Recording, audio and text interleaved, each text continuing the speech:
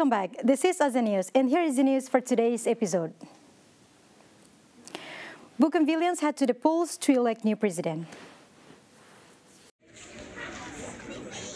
The people of Bougainville began voting in a general and presidential election after the South Pacific island nation overwhelmingly voted to be independent from Papua New Guinea in 2019.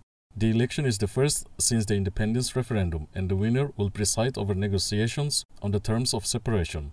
Almost 98% of the 181,000 votes cast in the referendum, that is part of a peace pact struck in the aftermath of decade-long war between Bougainville's rebel fighters and Papua New Guinea's forces, which ended in 1998. Bougainville's 250,000 strong population has a median age of just 20, a demographic that is likely bad news for the ex-combatants, 25 candidates eyeing for the top political office. The fighting are triggered by dispute run at the time by a forerunner of giant miner Rio Tinto, set off by anger over land royalties and rivers polluted by mining. As many as 20,000 died during the fighting between the region's rebel guerrilla army and Papua New Guinea forces and PNG forces and Panguna was closed. Last year's non-binding independence pool was part of the peace process that ended the conflict. Bougainville boasts large deposit of gold and copper that the government wants to develop to finance its independence. Pooling is likely to be complicated by the first recorded case of COVID 19 in Bougainville, a 30 year old man who returns from Port Moresby. The Canadian preacher jails in Myanmar held services during virus ban. A Myanmar court sentences a Canadian preacher who says Christians are immune to the novel coronavirus to jail with hard labor for three months for holding church services in defiance of a ban on gatherings during the outbreak.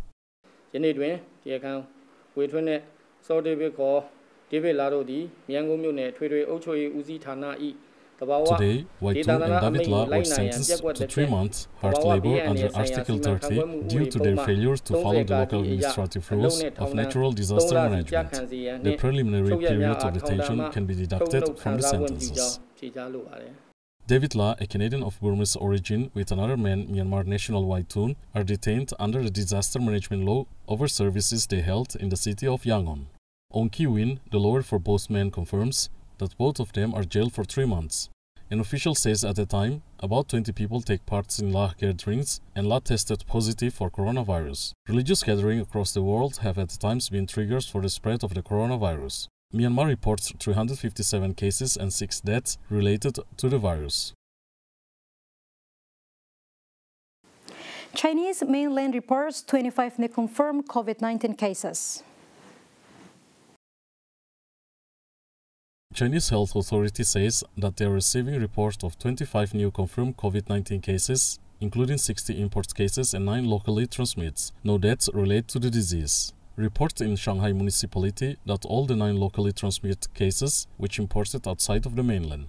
The commission says a total of 58 COVID-19 patients are discharged from hospital after recovery and there were still three suspect COVID 19 cases, 288 asymptomatic cases, including 141 import ones, are still under medical observation.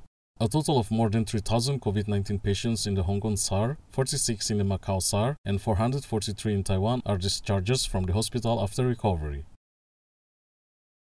Former Japanese Prime Minister Yoshiro Mori met with Taiwan President Tsai Ing-wen to pay his respects to leader Lee Teng-hui. Accompanied by a group of Japanese lawmakers, Mori conveyed Japanese Prime Minister Shinzo Abe's condolence in a meeting with the current Prime Minister Tsai Ing-wen and expressed gratitude for what Lee had done for Japan. 谢谢森前首相，我知道您是一位人情家。呃，当年李前总统卸任之后，呃，能够。Thank you for former Prime Minister Mori. I know you are a warm-hearted person. Back in those days, it was because of former Prime Minister Mori's efforts that former President Lee was able to visit Japan after leaving office. I want to thank the three of my good friends that I meet often, Keiji Furuya, Nobuo Kishi, and Seishiro Eto, as well as the honored guests in this room for their long-standing support and contribution to Taiwan and Japan relations. The people of Taiwan feel it deeply. Former Japan's Prime Minister Mori says Mr. Lee had a better understanding of Japan and Japanese history even than the Japanese people. えー、李登輝先生はそういった意味では日本の人よりも Mr. Lee had a better understanding of Japan and Japanese history even than the Japanese people. We are truly grateful for having received a lot of guidance from him.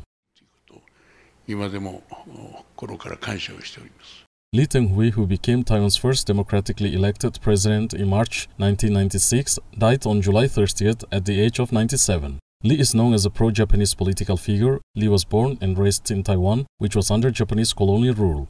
He was a fluent Japanese speaker and briefly served in the Imperial Japanese Army, staying on after its World War II, surrendered in 1945 to study at the University of Kyoto.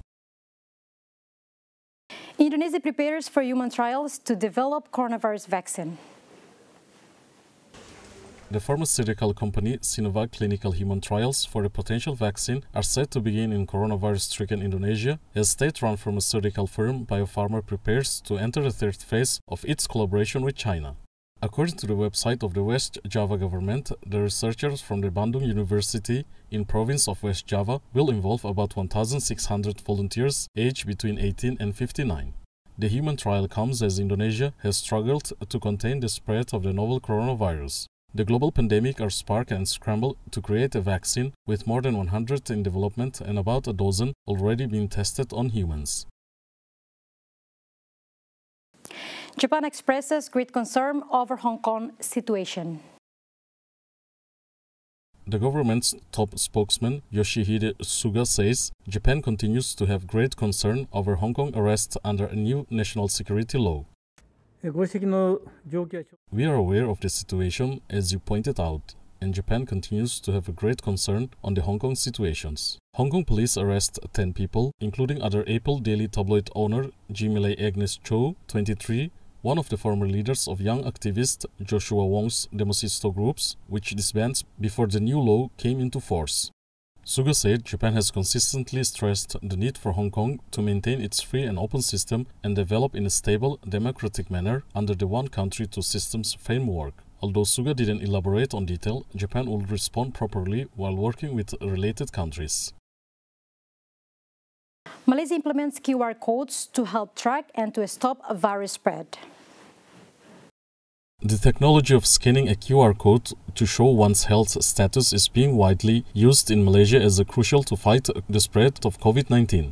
The pandemic has made the humble of QR code a part of daily life in countries such as Malaysia, Singapore and Thailand. The data will be more accurate uh, in terms of uh, collecting the data. Um, government tracking will be much uh, easier comparing to writing on books Everyone entering shopping malls, most shops and restaurants have to scan a code and then enter their personal details. This enables the authorities to swiftly trace and notify anyone who may have come into contact with someone with COVID-19. However, there are concerns about the trade-off between public safety and privacy, but most Malaysian consumers are embraced to the technology. Still, this new widespread of the use of the QR codes is already spurring a big jump in the use of contactless e-wallet systems in Malaysia. We are forced into that using the QR code, so I think it's a, it's a good introductory uh, move. There will be some easier acceptance towards uh, using more digital mode of uh, transactions. Analyst says the daily use of these technologies will also open up opportunities for app developers and service providers. Singapore police try out drones that developed by Israel to check social distancing from the sky.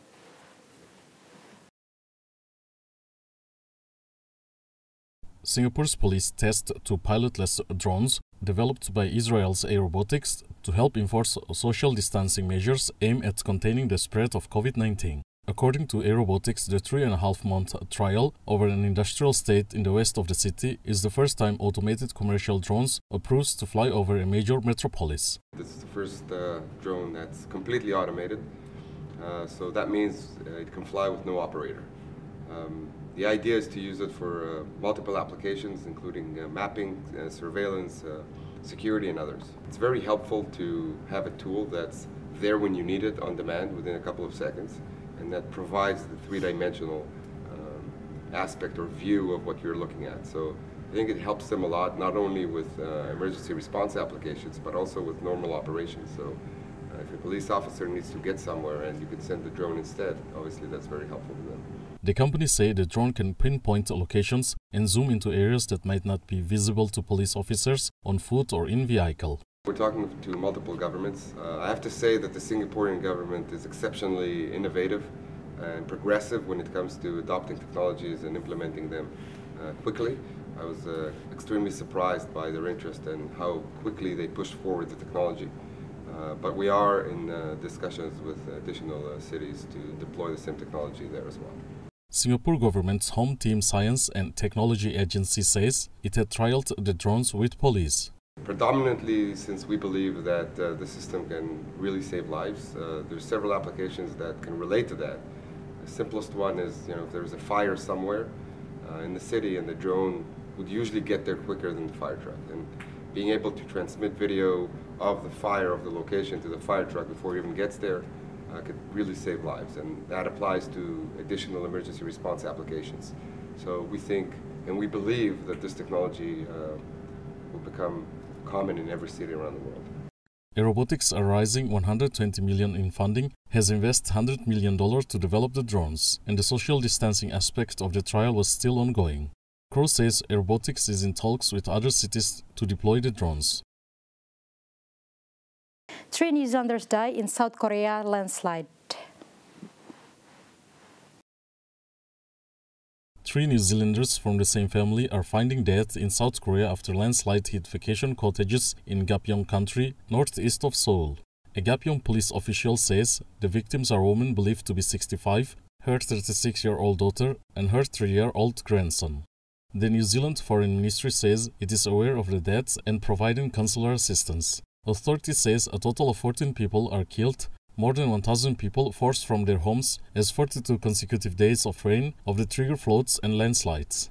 Heavy rain which also battered China, Thailand, Myanmar and India, inundated farmland and flooded parts of major highways and bridges in the capitals. Vietnam's Vingroup mass-produced ventilators amid virus outbreak.